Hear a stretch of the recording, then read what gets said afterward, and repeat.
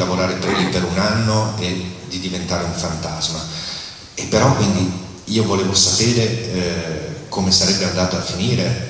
visto che per me il tema centrale era il rapporto tra questo padre e figlio, quale, quale sarebbe stata la reazione. Quindi lo sforzo eh, maggiore è stato quello eh, più difficile in, eh, nella chiusura del film, di ridare spinta al film eh, e di fatti per fortuna abbiamo avuto quel contrasto tra quella scena notturna che chiude bene eh, un sentimento con questo abbraccio con Rosaria che eh, dice delle parole vere, delle parole sincere in questa penombra e, e quella scena mattutina con eh, quella musica che è incongruamente allegra, cacciarona e dove pare che tutto sia ripartito eh, come doveva ripartire e invece cosa succede? Manca il bambino più piccolo. Eh, però da un punto di vista diciamo, del, del racconto, per tornare alla domanda che mi hai fatto, è stato effettivamente un momento piuttosto, piuttosto delicato perché eh, bisogna riagguantare immediatamente l'emozione dello spettatore che in qualche modo eh, vedendo la morte di Edoardo, il seppellimento quel, eh, ha, ha, avuto un susseguirsi di scene piuttosto tese e, e quindi c'è il rischio di un calo, di un calo della tensione. Nonostante questo diciamo è stato l'unico modo che abbiamo trovato per, per raccontare, per raccontare tutta, tutta, la storia, però eh, c'è una persona che è stata all'Avid con noi per tanti mesi durante, durante il film, sa che è stato, è stato, un bel problema da risolvere. Voglio fare una domanda più, più tecnico-cinematografica come mai un, uh, un, giovane regista che ha fatto il centro sperimentale, che quindi è cresciuto e si è formato in una scuola dove si sono formati tra i più grandi direttori della fotografia, ma non solo italiani, ma uh, mondiali, va a fare il suo film più importante, diciamo, con un direttore della fotografia di scuola ungherese? Sono, è vero che in Italia noi abbiamo dei grandissimi direttori della fotografia, è altrettanto vero però che lo saprai, eh, esistono degli incontri che sono degli incontri formidabili. E appunto io di Gergely Poarnok, questo è il nome del direttore della fotografia, ho, ho, avevo visto solo uno showreel, ovvero un estratto di alcuni suoi lavori con dei pezzettini. Eh, avevo visto l'ultima scena eh, proprio del film Nuovo Mondo, quella dell'arte che mi era piaciuta moltissimo, questo chiaramente non ti fa prendere eh, una decisione così delicata, però eh, ero rimasto molto incuriosito. E tra le, le, i tanti direttori della fotografia che ho voluto incontrare c'era, c'era anche lui ed è stato con un innamoramento perché immediatamente ho avuto eh, la sensazione che lui eh, volesse fare lo stesso film che avesse la sensibilità giusta e, e soprattutto si è creata, ed è molto rischiosa questa cosa, una confidenza eh, prima lavorativa e dopo anche umana in brevissimo tempo. Molte volte mi è capitato che eh, questi grandi innamoramenti fossero dei fuochi di paglia vale per, sia per il lavoro che per la vita privata. E invece in questo caso ho trovato una persona che eh, mi ha anche protetto perché tenevo moltissimo a questo film, avevo molta meno esperienza di lui e lui è stato molto lucido nell'aiutarmi nei momenti in cui... Eh, non dico non avessi le idee chiare, perché credo di aver sempre saputo uh, quale film volevo fare, ma anche nel trovare, quando magari c'era poco tempo, quando non si avevano le condizioni ottimali, eh, delle soluzioni che corrispondessero al gusto e alla bontà del film. Eh, per cui diciamo che è successo, come quando si spiega un tradimento ad una moglie, è successo, o a un marito ovviamente.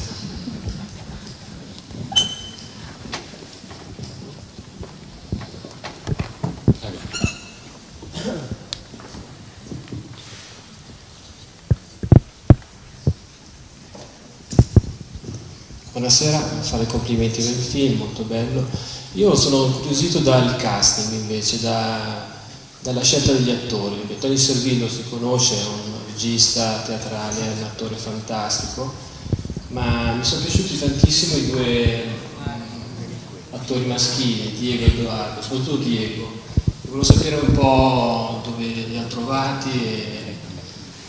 e, e... che, percorso professionale hanno, perché sono stati veramente, cioè, molte volte quando uno vede un film e dice vabbè, eh, il film è bello perché sono bravi gli attori, oppure viceversa. È talmente bello la sceneggiatura che gli attori non potrebbero fare un brutto film. In questo caso qua invece mi sono, mi fermato su, sulla bravura dei due attori e soprattutto di Diego nelle scene in cui recita insieme a Tony Servillo. Ma, eh, diciamo che da un punto di vista pratico eh, li ho trovati a teatro perché sono tutti attori eh, di formazione teatrale, sia i due ragazzi che Maurizio Donadoni che è l'aiuto cuoco Claudio con il quale io avevo fatto eh, il mio cortometraggio di diploma quando ero a scuola e, e anche le stesse attrici tedesche. Eh, Marco D'Amore, il figlio di Tony Servillo nel film, eh, fatto la Paolo Grassi a Milano, quindi è un attore estremamente strutturato, ha fatto anche la trilogia della villeggiatura proprio con, eh, con Servillo ed è la sua prima esperienza al cinema, mentre Francesco Di Leva che diciamo, ha avuto un percorso sempre teatrale ma senza passare diciamo, per le scuole, eh, aveva fatto anche qualche piccola esperienza al cinema. Dopo da un punto di vista eh, concreto della scelta eh, mi sono detto che assolutamente per un rispetto nei confronti della verità che doveva venire fuori nello schermo e della lingua che doveva essere parlata, che è molto importante nel film, questi due attori avrebbero dovuto essere degli attori campani. E, tanto più che addirittura eh, Francesco Di Leva eh, è stato scelto a cast chiuso praticamente. Eh, lui era via perché stava facendo un altro lavoro, ma ha insistito, io non lo conoscevo, con eh, la direttrice del casting per venire a fare un provino, anche se noi avevamo già deciso. Ed è arrivato quel giorno, eh, abbiamo detto vabbè facciamolo comunque. È arrivato quel giorno, io gli davo le battute eh, e lui si è presentato, ha fatto proprio la scena in cui appoggia le mani sul tavolo e dice io lo so chi sei tu. Eh, io sono rimasto folgorato perché aveva una verità dentro di sé, eh, un talento, una bravura, un'aderenza alla parte che erano non solo eh, dal, giuste dal punto di vista della recitazione ma anche proprio della fisionomica perché proprio aveva un viso che eh, mi colpiva molto, aveva questo fisico che era per me come quello un po' di una pantera a riposo, cioè pronta a scattare è stato anche per quello ad esempio che eh, ad un certo punto mentre riflettevo su come mettere in scena certe scene ho detto ma eh, forse è il caso che in, uh, visto questo fisico che ha, visto anche questa scioltezza, che stia torso nudo in alcuni casi, perché eh, aiuta ancora di più, era proprio l'attore giusto per quella parte. Questo è stato l'interno.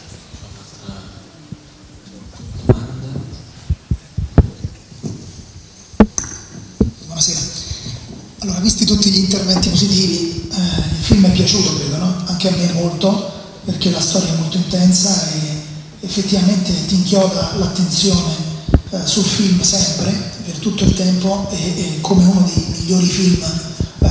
di azione, di suspense. Però volevo, visto che stavo leggendo qua sull'opuscolo alcuni eh, interventi, alcune eh, recensioni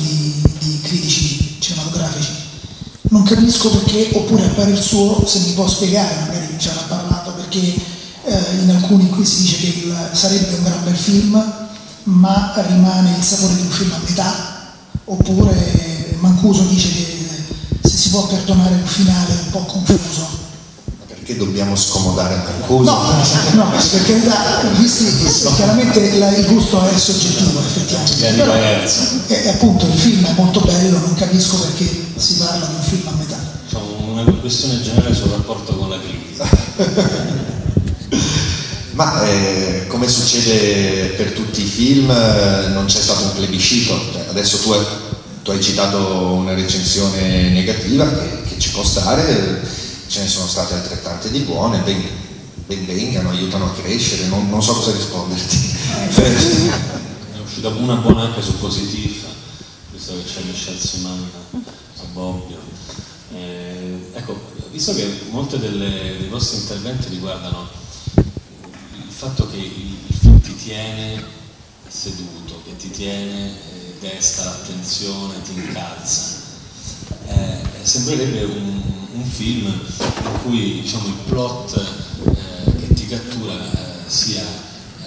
diciamo, una linea centrale che è quella pragmatica, che è quella dell'obiettivo. Mentre invece una cosa di cui parlavamo oggi con, con degli allievi del, del laboratorio Fare era proprio che eh, al di là di questa dorsale, cioè, tutti vogliamo sapere la domanda drammaturgica classica and then e poi, ma ehm, è molto importante il fatto che il film completi il proprio universo narrativo, cioè ci sono dei personaggi secondari che potrebbero semplicemente viaggiare lungo questa dorsale dell'obiettivo principale, no? per esempio l'esecuzione che c'è personaggio eh, di Edoardo eh, potrebbe essere funzionale semplicemente a, a questa dorsale qua. E invece voi, i sceneggiatori, gli create una relazione. E questo apparentemente può dare alla sceneggiatura un andamento digressivo, mentre invece è importantissimo perché eh, crea un vero personaggio, perché solo un vero personaggio può avere una relazione. Di esempi eh, di questo tipo nel, nel tuo film eh, ce ne sono tanti.